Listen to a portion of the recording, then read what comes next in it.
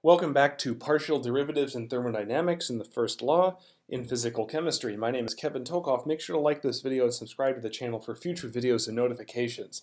It's very much appreciated. So what we've been dealing with in the past few videos is how to expand partial derivatives. Okay, how to get how to take a variable that's changing and calculate its change, assuming it's a function of more than one variable. Now, um, we're going to do this uh, uh, determination for pressure, okay, how to calculate a change in pressure. Ultimately, what we've been doing in the past few videos is how to calculate changes in variables that are functions of more than one variable. So an example of such a variable is pressure. We know that, at least if we do the ideal gas equation of state, pressure is equal to nRT over V. And so I know that pressure is ultimately a function of volume and temperature. Now technically it's also a function of moles, but we know that for situations where we have gas enclosed, you know, one type of gas enclosed in a container, and there's no reaction, no gas escaping, the number of moles isn't changing, so I'm not even going to consider that, okay? Pressure is a function of volume and temperature. So what do I do if I want to calculate a change in pressure?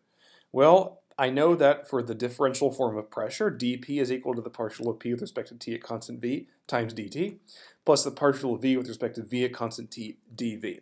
Now ultimately what I'm going to do is I'm just going to integrate all of this. Okay?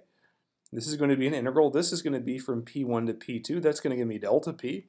This integral is, is times dt, so it's going to be from T1 to T2. This integral is in terms of volume, so it's going to be from V1 to V2. Now, again, the utility in doing this is if you want to calculate the change in pressure, but volume and temperature are changing. Now, if I use the ideal gas equation of state, it's pretty trivial to find the partial of P with respect to T. Okay, that's it's a pretty easy thing to do. Um, this derivative is actually just uh, nr over v, right? This derivative, partial of v with respect to, or partial of p with respect to v, it's a little harder.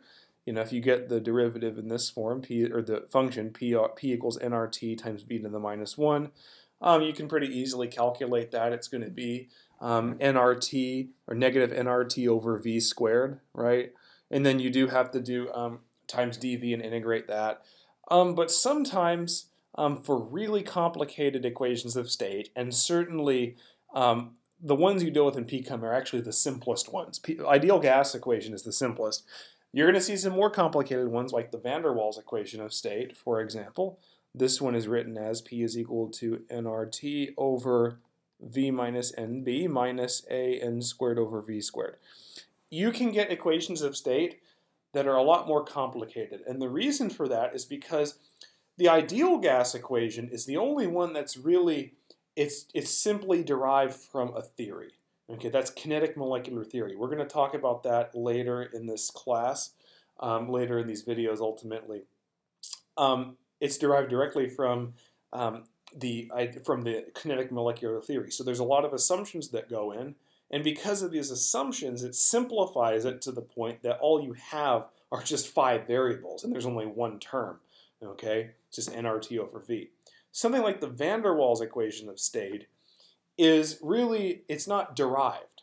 It's experimental, okay? These constants A and B, which we're going to talk about much later um, in a, a, later playlist, those constants are experimental, okay? Um, van der Waals was the one who, um, who didn't derive, I shouldn't say that, he formulated this uh, expression for pressure, but it's derived, it's, it's, it's given, I should say, based on experimental data. So if you wanted to get really, really accurate with, with determining what the pressure is for some type of gas, you could have very, very, very complicated expressions because they're experimental, okay? And they can be exponentially more complicated than this. Which means that if you wanted to take derivatives they can be very, very complicated and time consuming, and perhaps you don't want to do that. So the way in any physics or chemistry course that we get around this is we actually just do some mathematical manipulations and we get some derivative in terms of a constant, something I can look up in a table. Because if I can if I can manipulate the expression to give me a constant, then all, all these derivatives and integrals become way, way easier. So that's what I'm going to do. All right. Now, the first of these constants, I'm just going to define it for you. This constant is kappa. This is not a k. Um, it's not a rate constant, uh, an equilibrium constant. It's kappa, the Greek letter. Okay, I'll try to I'll try to remember to say kappa. Sometimes I do slip up though. The expression for kappa is negative 1 over v times the partial derivative of v with respect to p at constant t. Okay, so how does that help us with simplifying this um, expression for pressure changes? Well, there's a rule in, um, in, it's not a physics rule, it's not a chemistry rule, it's just a simple mathematical fact. It works for normal derivatives, it works for partial derivatives. If I had the expression dy dx, and suppose taking that derivative was very difficult for whatever reason, then this derivative is the same as if I take the reciprocal, or 1 over its reciprocal. So it would be 1 over dx dy. These two expressions are equal to each other. It's sort of like saying if this was if this was 3 fourths, 3 fourths is equal to 1 over 4 thirds, right? This is You're simply just you're assuming the derivative basically is just a simple fraction. That's all you're doing. And so if I wanted to take the reciprocal of um, partial of v with respect to p at constant t, then I can do that. So what I'm going to do is I'm going to isolate this derivative. I'm going to multiply by negative v. And that's going to get rid of this over here, and I'm going to get negative v kappa is equal to the partial of v with respect to p at constant t. Now, the reason I want to take the reciprocal is because notice if I do, if I take the reciprocal, I'm going to take 1 over negative v kappa, 1 over this derivative, I get the partial of p with respect to v at constant t is equal to negative 1 over v kappa. This derivative is exactly what's here. So one thing you need to get familiar with, because you haven't really done it a lot probably in your chemistry career yet, but it's something that's going to be very important. If you see two things that are equal, anytime they're equal, you are allowed to make a substitution. Okay, so what I can do is, is when I see this partial of p with respect to v at constant t, I'm just going to substitute that with negative 1 over v kappa. I'm just going to do that. So that's what's ultimately going to go in this derivative right here. So it's added here, but because it's negative, I'm going to have a negative 1 over v kappa times dv. The differential element doesn't change. I'm just changing the partial derivative because that's what I'm substituting. Okay, And you can imagine I'm going to try to do something similar um, for this derivative. Now, what kappa is, kappa is, is ultimately the isothermal compressibility. Okay, that's isothermal compressibility. So what it says ultimately is it's related to, at least, how volume changes when you vary the pressure at constant temperature. That's why it's isothermal, isothermal compressibility. The other one I want to deal with, this other constant, is actually called beta. What beta is, is it's, it's now at, it's at constant pressure now, so it's termed an isobaric thermal expansion. Isobaric thermal expansion. And what it's, it's related to is how does the volume change when I change the pressure or change the temperature at constant pressure? So you have partial v with respect to t at constant p times 1 over v. And again, um, I usually what I want to do is get these derivatives by themselves. So if I have the partial v with respect to t at constant p, I'm going to multiply this times v on both sides and get that this derivative is equal to beta v. Which means that any time I see this derivative right here, I can substitute beta v. So where does that help us? Well, there's a, a mathematical rule. It's, it's, a rule, not a physical, not a chemical rule. It's just simply a mathematical fact. And it's this right here. So I have this function. It's a function ultimately of pressure, volume, and temperature, three variables. What I'm allowed to do is I'm allowed to say that the partial of p with respect to v at constant t times the partial of v with respect to t at constant p times the partial of t with respect to p at constant v, when you multiply all these partial derivatives, it's equal to negative 1. Okay? That's just a mathematical fact. So what I can ultimately do is I, what I want to do is find an expression for the partial of p with respect to t at constant v.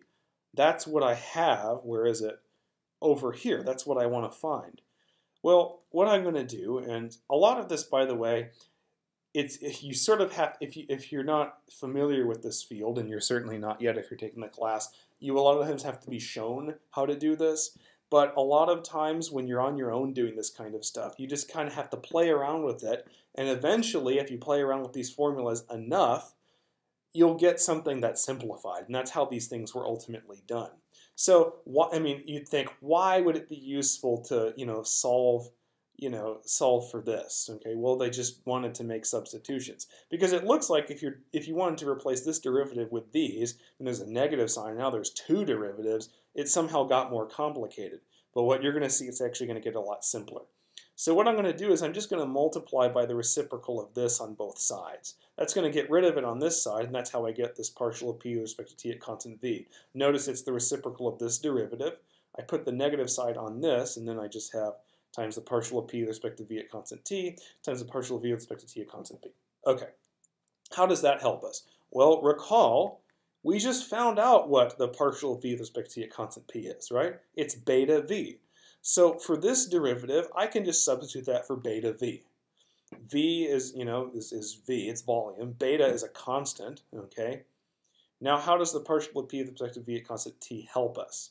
Okay, how does that help us? Well, remember, um, remember how we showed that this is actually equal to negative 1 over v kappa. So whenever I see this, I'm just going to replace it with negative 1 over v kappa. Now the nice thing is the volume cancels, you don't have to worry about that, and these negative signs cancel because remember this is all negative, okay?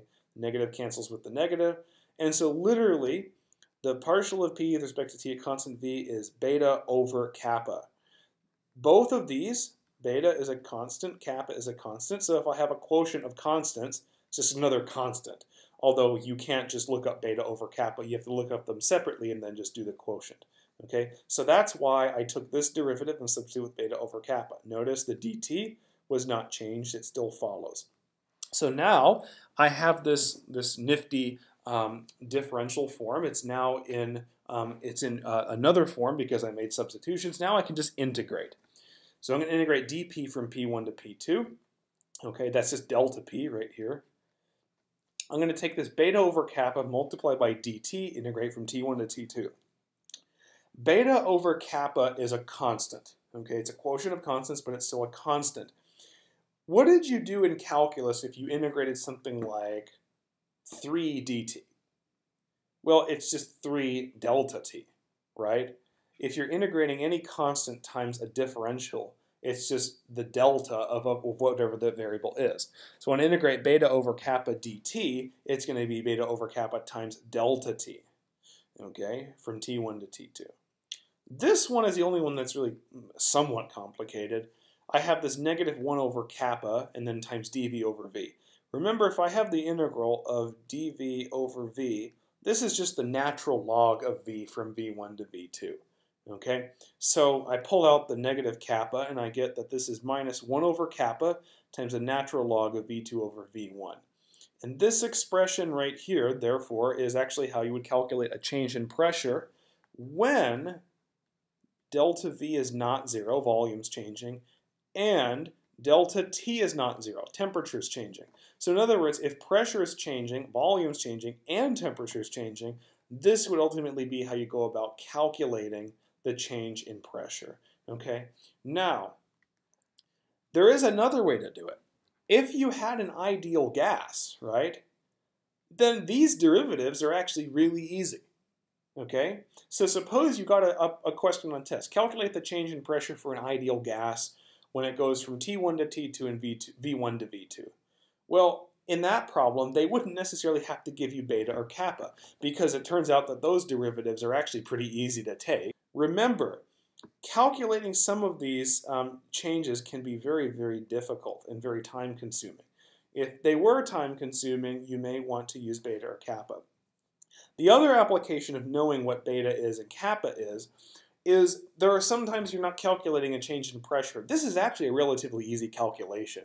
And it's actually even doable for the van der Waals equation of state, Redlich-Kwong. You can still do it for those. Um, they're actually not that hard. There are some other calculations where you might actually encounter a partial of v with respect to t at constant p. And suppose it is for a van der Waals gas, okay? It's not easy to solve for volume to take the derivative, okay? And if you do solve for temperature and do the reciprocal partial derivative rule, simplifying it is a nightmare. So I would just simply take, if you're given beta, just say partial of v with respect to t is beta v. That's what I would say, okay? So the reason you have these constants is that it makes things a lot easier, okay? Over the course of thermodynamics, we're, and also into kinetics also, some other aspects of PChem, we're going to encounter more constants and we're going to add them to our list. So the key, the key takeaway is they're not trying to really torture you, they're actually trying to make things easier because certain calculus uh, expressions can be very, very difficult. So I hope this video helped and gave you an understanding of um, beta and kappa, and also how you would calculate a change in pressure. We kind of kill two birds with one stone.